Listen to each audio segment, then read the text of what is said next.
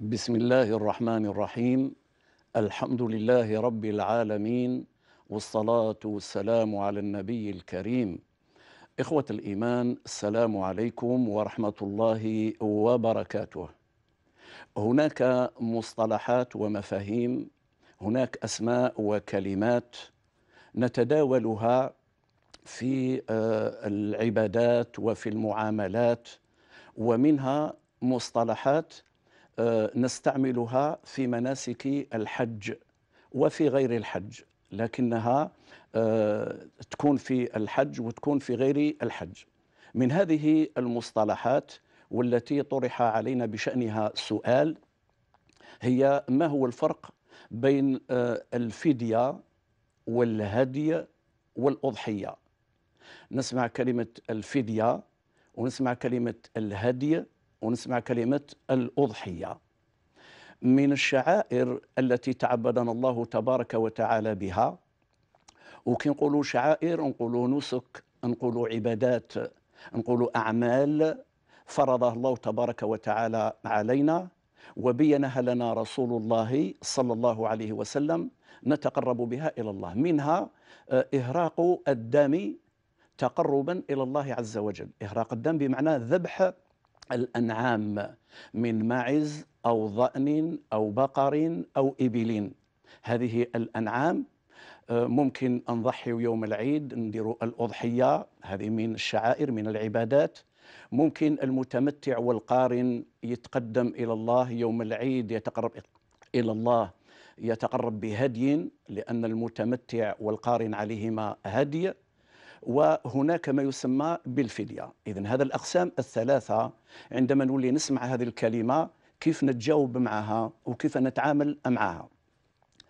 أه، هناك إخوة الإيمان أه، كما علمنا في ركن الإحرام في الميقات. ركن الإحرام اللي هو نية الدخول في النسك. وقلنا عندما ينوي الحاج أو المعتمر ويبدأ النسك نتاعو.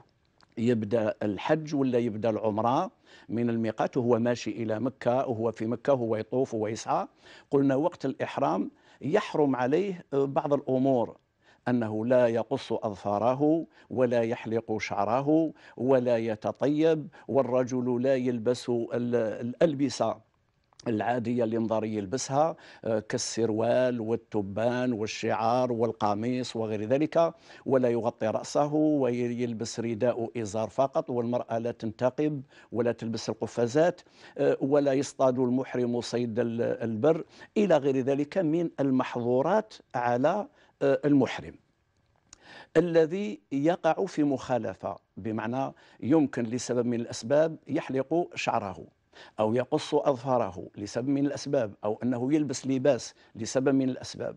هذا الذي خالف محظور من محظورات الإحرام يفدي يذبح نسكا بمعنى يذبح ضأن يذبح كبش. هذا الذبيحة اللي يذبحها نتيجة هذه المخالفة تسمى الفدية. لذلك قال ربنا عز وجل ففدية من صيام أو صدقة أو نسك. النسك هنا الذبيحة اللي يذبحها تسمى فدية. علاش؟ لأنه ارتكب شيء مخالف لما أمر به. آه هذه الفدية إذا يذبحها وهنا مخير اللي يرتكب هذه المخالفات اللي سميناها من قص الأظفار وحلق الشعر ولبس الثياب و من هذه المخالفات. فربنا عز وجل آه، قال ففدية من صيام يصوم ثلاث أيام أو أنه يطعم ست مساكين أو أنه يذبح نسك. نحن الآن نتكلم فقط على هذا المصطلح مصطلح الفدية. هذا يفتدي به هذا العمل اللي تركه. باش يجبر هذا العمل يتقرب إلى الله تبارك وتعالى. هذا مثل ما نقول يعني الفدية إطعام مساكين يعني إطعام مسكين عن كل يوم بالنسبة لرمضان. رمضان يعني واحد اللي مرض في رمضان ولا سافر عفوا اللي مرض في رمضان ولا اللي عاجز كبير. وما يقدرش يصوم قال ربنا عز وجل ففدية من أيام أخر فيطعم مسكين. معنى يطعم عن ذلك مسكين اللي ما يقدرش يقضي بعد ذلك. هذا يعني باش نقولوا على هذا المصطلح. هناك الهدي. الهدي هو بالنسبة للمتمتع وللقارن ولمن يترك واجبا من الواجبات. الذي يدخل الحج يبدأ بالعمرة يؤدي العمرة ومن بعد يتحلل ومن بعد يوم الثامن آه، يوم التروية يزيد يحرم بالحج ويكمل الحج نتاعو بهذه الطريقة سميوها المتمتع. هذا المتمتع آه، يستوجب عليه أنه يوم العيد يتقرب إلى الله بنسك. يتقرب إلى الله أنه يذبح الظأن يذبح كبش يتقرب به الله تبارك وتعالى. أو أنه يجوز لثلاثة ولا أربعة حتى للسبعة يجوز لهم الاشتراك في بدنة في بقرة أو في آه، الإبل في جمل. يجوز لهم يشتركوا والله تبارك وتعالى أعلم. قلت اللي يترك واجب من الواجبات ومن واجبات الحج على سبيل المثال لا, لا أذكر الآن كل الواجبات لأن عرفناها. مثال ذلك أنه يعني آه نية الدخول في النسك الإحرام من الميقات. إحنا كنا قلنا باللي لو أن الإنسان يفوت الميق الحاج يفوت الميقات لو فرضنا أنه حتى الحق المكة ومن بعد نوى يحج راه فات الميقات. هنا لما نوى قبل ما يبدأ يطوف ويسعى وكذا راه الركن نتاعو راه مليح صحيح لكن ترك واجبا. ما هو هذا الواجب؟ هو أن عقد نية الدخول في النسك نية الإحرام يلزم تكون في الميقات. اللي يتجاوز الميقات ما يحرمش في الميقات هذا ترك واجب أو أنه لم يلبي التلبية المشروعة في الميقات. هذا ترك واجب. أه، من لم يعني يبقى في عرفات اللي وقفوا في النهار يعني صلى الظهر والعصر وبقى يذكر في يوم يوم عرفة يلزم يقعد حتى للغروب. هذا واجب اللي ما يقعدش حتى الغروب خلى واجب. كذلك المبيت في مزدلفة. كذلك رمي جمرة العقبة وهكذا. وكذلك الحرق. إذا هناك واجبات. من ترك واجبا من هذه الواجبات يترتب عليه إذا كان لم فات الوقت ما قدرش يقضيه. هنا لأن كاين بعض الواجبات يمكن ما يفوتهاش الوقت وكاين واجبات يفوتها الوقت. آه، مثلا المبيت في مزدلفة إذا فات أطلع الفجر خلاص راه فات الوقت. آه، مثلا آه، الحلق ممكن الواحد حتى يعاود يرجع للأهل نتاعو ينسى ما يحلقش. راه فات الوقت اذا هنا راه رايح يحلق وراه رايح يهدي لأن فات الوقت نتاع آه الأداء نتاع هذا العمل. لذلك هذا اللي الأضحية اللي يضحيها هنا وبالمناسبة كلمة الأضحية هذه بالنسبة للذين يكونون في بلدانهم في بيوتهم. أما الحاج ما عندوش الأضحية الحاج نقولوا يهدي. إذا كل من المتمتع والقارن ومن ترك واجبا من واجبات الحج اللي يتقرب إلى الله بشعيرة بنسك يذبح يتقرب بهذا الدم إلى الله تبارك وتعالى يسمى أنه أهدى هذا الهدي. هناك مصطلح آخر وهو الأضحية والجمع الأضاحي. الأضحية هي ما يتقرب به المسلم أينما كان المسلم الذي يستطيع أن يشتري الأضحية آه، يشتري يعني ضأن كبش ولا البقرة ولا جمل يعني من الإبل هذا يتقرب به إلى الله. حكم الأضحية يعني حكمها في الشرع أنها سنة مؤكدة.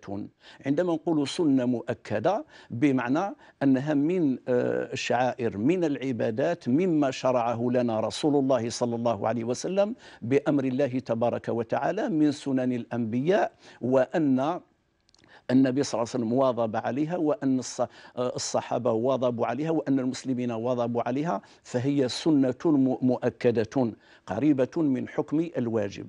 فكل مستطيع يوم عيد الأضحى يتقرب إلى الله تبارك وتعالى بذبح الأضحية وفيها فضل كبير.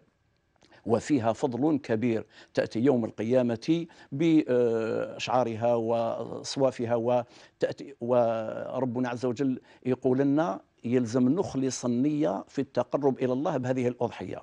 يقول سبحانه وتعالى لن ينال الله لحومها ولا دماؤها ولكن يناله التقوى منكم. ولكن يناله التقوى منكم. إذا فضل الأضحية فضل عظيم. كل من يستطيع أن يضحي. شوفوا الفرق بين الهدي في الحج والأضحية عندما نكونوا في بلادنا ونضحيوا.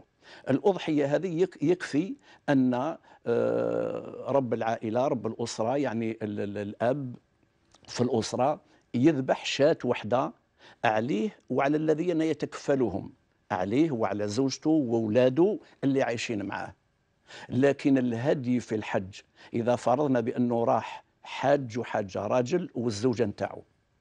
إذا راح راجل والزوجة نتاعو. وفي زوج دخلوا متمتعين. يلزم في زوج يذبحوا ماشي يذبح غير الراجل كأنه يضحي في داره. لا. الهدي يجب على كل من يتوجب عليه أو يتوجب عليه هذا الهدي. إذا كان حجاج نساء ورجال راحوا قارنين ولا متمتعين كل فرد من هؤلاء امرأة رجل ولا امرأة مثلا يروح واحد هو ويمه وزوجته وبنته. اذا هو وزوجته وبنته راهم رايحين يذبحوا آه، اربعه يعني كل واحد يذبح هدي على آه، يذبح هدي مقابل الشعيرة اللي يتقرب بها إلى الله سبحانه وتعالى. لماذا؟ لأن بلغنا من أسئلة إخواننا وأخواتنا من المشاهدين والمشاهدات أن بعضهم يخطئ في هذا يفكر وكأنها الأضحية إذا في العيد بالنسبة للحجاج عندهم الهدي وبمقابل يعني هذه المناسك اللي تعلمناها أما الأضحية فهي خاصة بالمقيمين في منازلهم.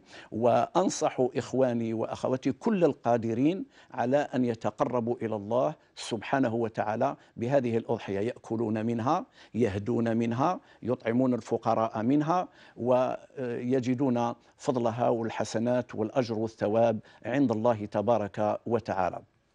أقول قولي هذا وأستغفر الله العظيم, العظيم لي ولكم إنه هو الغفور الرحيم.